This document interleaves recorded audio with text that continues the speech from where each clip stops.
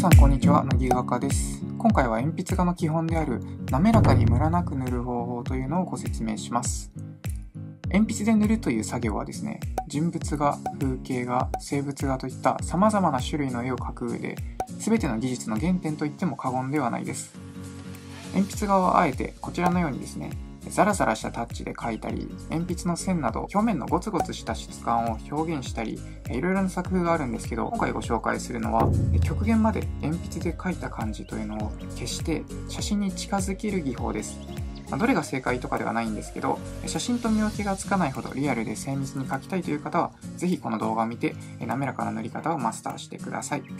ここで滑らかな鉛筆画を描くためには大きく分けて2つのステップが必要です。まずはザラザラ感をなくし、鉛筆で滑らかにムラなく塗ることが重要です。次に塗った部分をティッシュや布などでぼかしていきます。つまり大きく分けて塗りとぼかしのステップに分かれます。この2つを一度に説明するとややこしいので、今回の動画では塗りについてご説明します。なので順番としては、できればこの動画を見た後にぼかしについての動画を一緒に見ていただくとより分かりやすいと思います。この2つの動画で僕の持っている限りの滑らかな鉛筆画のテクニックを全てお伝えします。おそらくですね、デッサンの教科書には載っていないような僕が独自に編み出した細かいテクニックにも触れます。すでに鉛筆画を描かれている方以外にもですね、初心者の方にもわかるように一から説明もしますので、これから鉛筆画を始めてみようという方もぜひ最後まで見てください。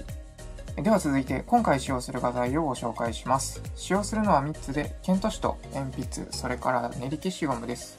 まずはケント紙について。メーカーは何でもいいですが、なるべく目の細かいものを選ぶのがポイントです。すでに皆さんが愛用しているケント紙があればそちらでもいいですし、まだケント紙を持っていないという方で、どれを買っていいかわからないという方は、僕が愛用している、こちらのですね、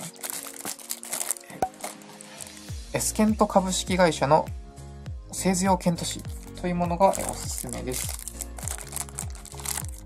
全然デッサン向けの紙ではなさそうに見えますが、めちゃくちゃ滑らかに塗れます。でもそんなに高くはなかった気がします。大きな文房具店や画材屋でどれだけ探してもこの紙が見つからないんですけど、意外にホームセンターで売ってたりもします。二つ目は鉛筆です。メーカーはハイユニでもステッドラーでも何でもいいです。濃さも何でもいいです。今回はオーソドックスな 2B を使っていきたいと思います。ただしですね、針のようにめちゃくちゃ尖らせるのがポイントです。理由は後で言います。えカッターでの削り方は、ググっていただくと山ほど出てくるので、今回の動画では割愛します。3つ目は練り消しゴムです。え僕は普段使っている練り消しゴムのメーカーにこだわりも全然なくて、硬さも適当です。まあ、どっちかっていうと、柔らかめが使いやすいような気もします。今回はこちらの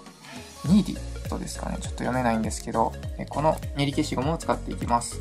このまま使うのではなく、消しやすい大きさにちぎって使います。消しをする画材のポイントをまとめると、目の細かいケント紙を使うというのと、鉛筆は針のように尖らせるということです。後の画材は適当で OK です。早速塗っていきたいところなんですが、その前になぜ滑らかに塗れないのか、その原因をしっかり把握することが大切です。鉛筆画をすでに描いている多くの方が抱えている悩みとして、鉛筆で塗った時に滑らかに塗れない、または鉛筆特有のザラザラが目立ってしまうと感じる人は多いのではないかと思います。こちらのような感じですね。拡大してみると部分的にザラザラしていたり、明らかに鉛筆で書いたって分かってしまいますよね。このようにザラザラしてしまう原因と塗りムラが発生する原因をこれからご説明します。まず、ザラザラの原因についてなんですけど、その問題点は紙の凹凸に黒鉛が馴染んでいないということが挙げられます。紙には非常に小さな凹凸があります。こちらのような感じです。滑らかに塗る上で紙表面の平坦さ、滑らかさは非常に重要です。実際にイメージしやすいと思うんですけど、例えばヤスリのようなザラザラした紙の上で描いた線はガタガタしますし、ガラスのようなツルツルの面では綺麗で滑らかな線が描けますよね。なので、なるべく目の細かい紙を選んでください。逆に目が粗い紙を最初に選んでしまうと、この後解説するテクニックをいかに頑張って実践しても全てが無駄になります。ここで、目の細かい紙を選んだとしても、紙にはどうしても凹凸があります。逆に凹凸がないガラスや金属の上ではあまり濃く塗れないですよね。紙に凹凸があるおかげで鉛筆の黒鉛が付着してしっかり塗ることができます。えこの時、この凹凸のくぼみの部分をいかに塗るかがポイントになります。そのためには鉛筆の先端の形状が大切になってきます。尖った鉛筆では紙のくぼみまで塗ることができます。反対に先端が丸いと細かい凹凸を塗ることができません。皆さん小学生の頃に鉛筆を使っていて気づいたことがあると思うんですけど、丸い鉛筆では線が太くかすれたような線になってしまうと思います。こちらのようにですね。はい。尖った鉛筆では高密度に塗れますが、先端が丸いとこちらのようにかすれてしまいます。まとめると、紙の目が細かいものを選ぶということと、鉛筆は尖らせるという2点です。次に鉛筆のコードの問題です。一般的には濃さという方が馴染みがあります。濃い鉛筆、つまり柔らかい鉛筆は紙に付着する黒鉛の粒子が粗いです。イメージしやすく言うと、チョークやクレヨンみたいな感じです。逆に薄い鉛筆、つまり硬い鉛筆っていうのは、紙に付着する粒子が細かく、紙のくぼんでいる部分までしっかり塗れます。そこで、濃く塗る必要がある場合には、柔らかい鉛筆で塗って終わりではなく、その前後に硬い鉛筆で重ね塗りすることでザラザラが少なくなります。以上がザラザラする原因です。これは主に道具の話でした。次に塗りムラが発生する原因についてなんですけど、これは塗る時に加える力が均一でないのが原因です。つまり、えー、これについては塗り方の問題ですね。当たり前なんですけど、弱い力で塗った線は薄くて、反対に強い力で塗った線は濃いですよね。つまり、滑らかに塗るためには、鉛筆で紙を擦る力を均一にすることが大事です。え先ほど説明したように、鉛筆を尖らせて、また、硬い鉛筆で重ね塗りをしても、塗る力を均一にしないと塗りムラの原因になります。口で言うのは簡単なんですけど、実際にやると結構難しいです。ポイントは鉛筆の持ち方にあるので、ここからは実際に鉛筆での塗り方や持ち方などを具体的に解説していきます。それでは早速塗っていきたいんですけど、まずは鉛筆の持ち方についてご説明します。普段こちらのように字を書くように持って塗ると、思った以上に力がかかってしまったり、力が均一にかかりづらいので、おすすめの持ち方は親指と人差し指で、このように持つ持ち方です。この時、残りの3本の指は鉛筆には添えません。慣れてくれば、こちらの字を書く時の書き方でも塗れるようになるんですけど、最初のうちはこっちをお勧めします。では早速塗っていきます。このようにですね、ジグザグに鉛筆を動かしていきます。基本はこれだけで非常にシンプルです。ただまあ実際にやってみると結構難しいです。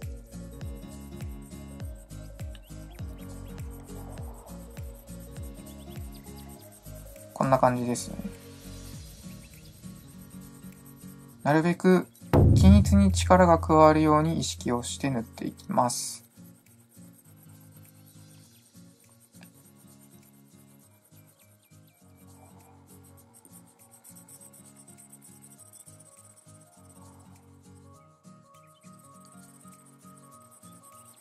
ここで注意点やポイントがいくつかあります。まずは優しく塗ることですね。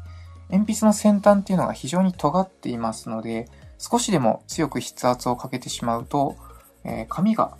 紙に傷がついて、その部分がくぼんでしまい、そのこう上から塗ろうとしても跡が浮き出てしまいます。なので、とにかく優しく塗るように心がけてください。一つの方向ではなく、まあ、いろんな角度から塗るといいです。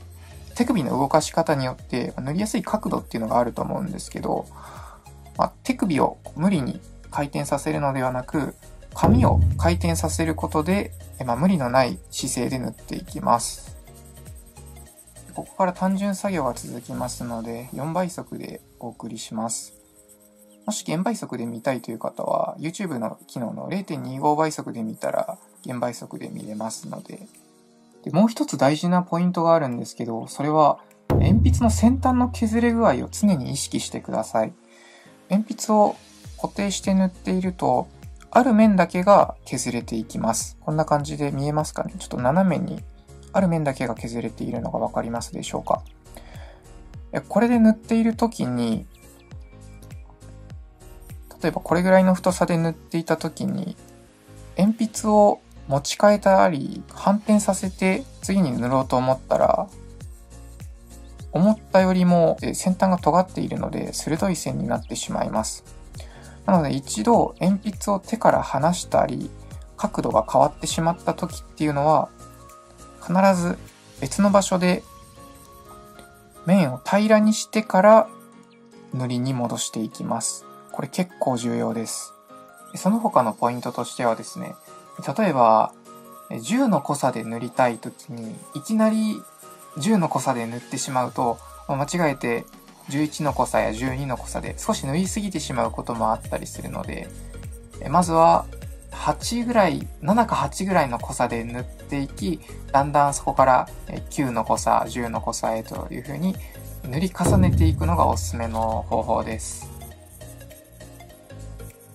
はい、こんな感じですね。鉛筆で塗ったザラザラの感じはあまり目立っていないと思います。硬い鉛筆で塗るのはこれで問題ないんですけど、さっき濃い鉛筆で塗るとザラザラしてしまうと言いました。そのためには柔らかい鉛筆だけでなく、硬い鉛筆で塗り重ねることが重要というふうに言ったんですけど、それについても実際にやっていきます。まず、6B だけで塗ってみます。塗り方はさっきと同じです。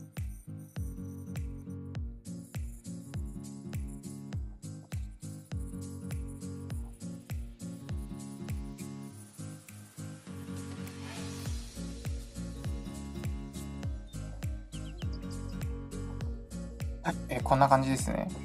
え、左側が、え、2B で塗ったものと、右側が 6B で塗ったものになります。拡大してみると分かりますでしょうか？2B で塗った時と 6B で塗った時は 2B で塗った方が滑らかに塗れており逆に 6B の方は粗さが目立ちますよねしかもこの無数の点々が見えると思うんですけどこれは 6B は非常に黒鉛が柔らかいのでそれが崩れ落ちるというか、ボロボロになって紙の表面に付着した状態となっています。実際に次は 2B と 6B を重ね塗りした時と比較してみたいと思います。では 2B と 6B を交互に塗っていきたいと思います。まず 2B からですね。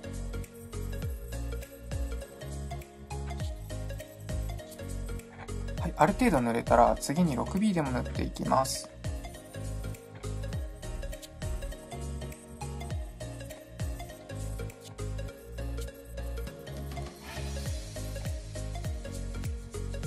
はい、こんな感じですね。一番右側が、えーと、2B と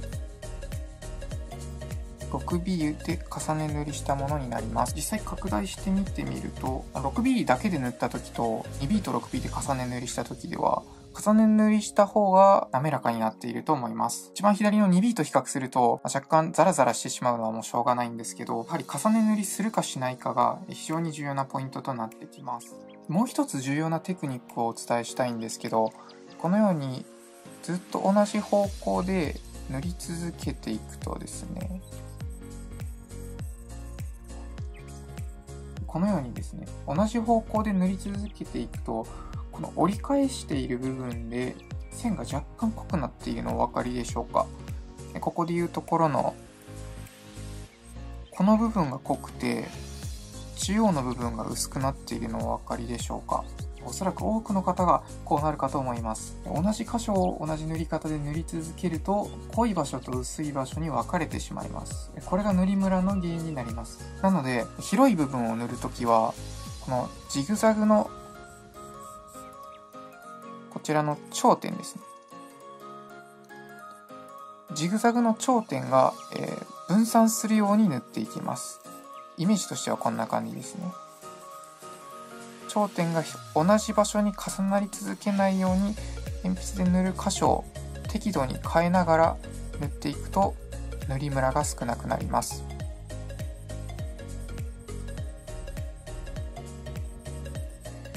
広い面積を塗るときは今言った方法でいいんですけど例えば狭いところを塗るとき例えばですねこの 2B と 6B のこの中間この間の白い部分を塗りたい時なんかはこのジグザグの頂点があえて濃い部分と重なるようにこのようにして塗っていきます。こうではないですね。このジグザグの頂点が白い部分に出るのではなくて濃い部分にっていきます。すると塗りムラが少なく見えます。ポイントとしてはとにかく頂点が目立たないように塗っていきます。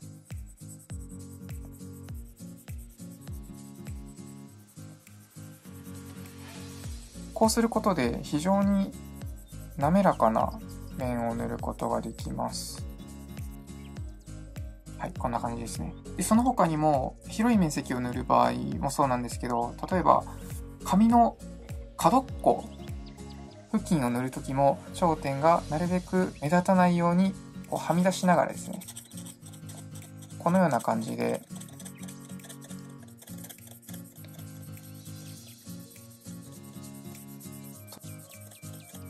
紙の中央に来ないように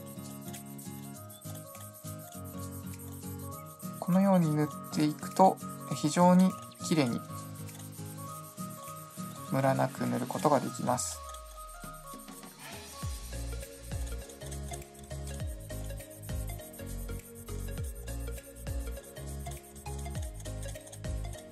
もしここでジグザグの頂点を、えー、紙の中央に持ってきてしまうとこんな感じで塗りムラがどんどん出てきてしまうので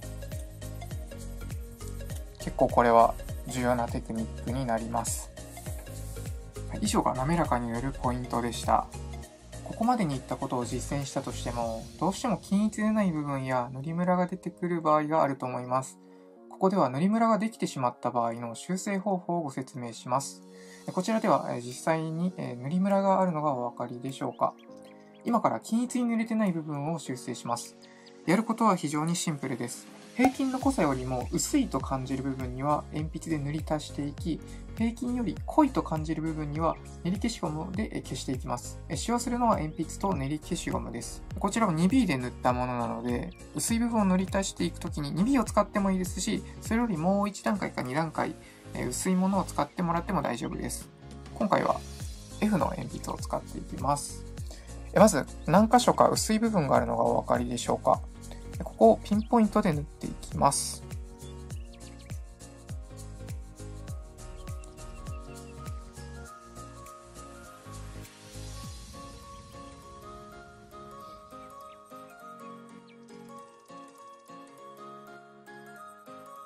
動画の前半で鉛筆を尖らせるようにと、まあ、しつこいくらいに言ったんですけど、それがこの部分でも活かされてきます。今やりたいことはミリ単位の細かい薄い部分をピンポイントに塗っていくことです。もし鉛筆の先端が丸いと先端の形状がよくわからないのでミリ単位で細かく塗ることができません。イメージしやすく言うとチョークやクレヨンのように先端が尖っていない場合細かい部分を塗るのは適していないと思います。なので尖らせると、えー、非常にここでも役に立ちます。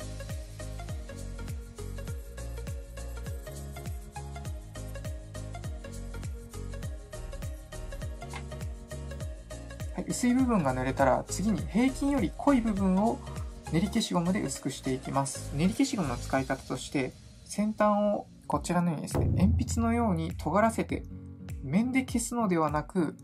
点で消していきたいと思います。仮に消したい部分が広い面積であったとしても、個人的なおすすめは点で優しく消していくことです。では実際に消していきます。ここでいうところの上の方に若干濃い部分があるので、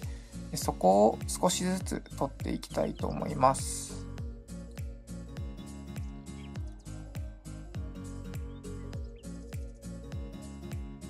通常の消しゴムを使う場合や練り消しゴムでハンコのように面で消してしまうとその部分を後から塗った時にムラが出やすくなります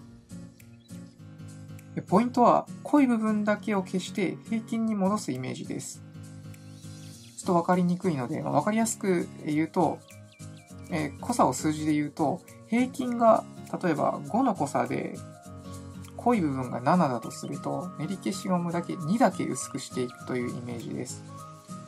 もし、まあ、間違って薄くしすぎたら、また鉛筆で塗り足していきます。この作業を繰り返していくうちに、だんだんと滑らかになっていきます。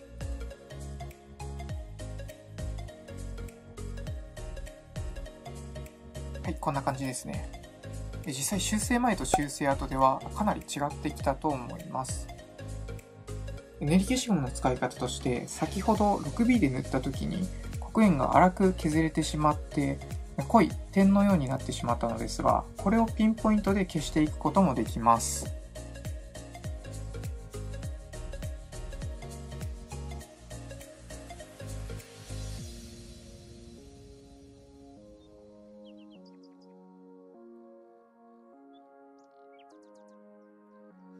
際に黒い点を消す前と消した後ではかなり違ってくると思います。以上が鉛筆画において滑らかにムラなく塗るコツです。解説の最中に色々言ったので少し混乱しているかと思います。ここでポイントを整理しておきます。まず、滑らかに塗る、まあ、あるいはザラザラ感をなくす方法として、目の細かい紙を使用する。鉛筆を尖らせる。濃い鉛筆で塗る場合は薄い鉛筆と重ね塗りをする。これがポイントとなります。次に、ムラをなくす方法としては、鉛筆で加える力を均一にする。具体的には、親指と人差し指で優しく持つ。また、ジグザグの頂点を分散させる。つまりは自分の癖を把握することが大切です。次に、塗りムラの修正では、薄い部分は鉛筆で塗り足し、逆に濃い部分は練り消しゴムで薄くしていきます。その際に練り消しゴムは尖らせるというのが、以上が大まかなポイントとなります。今回お話しした中で、普段とは違う鉛筆の持ち方や筆圧のかけ方など、少し練習や慣れが必要な部分もあります。まただ、なぜ滑らかに塗れないのか、その原因を知ることとコツを意識するとしないとでは上達に大きな差が出てきます。なので、ぜひ、今回の動画の内容を意識しながら、鉛筆画を楽しんでください。最後にもしこの動画でわからなかったことや、その他質問事項があれば、コメントしていただければと思います。今後もですね、今回のような教科書に載ってない細かい非常に重要なテクニックや解説動画をどんどんアップしていく予定ですので、よければ、チャンネル登録、および高評価していただければ幸いです。最後までご視聴ありがとうございました。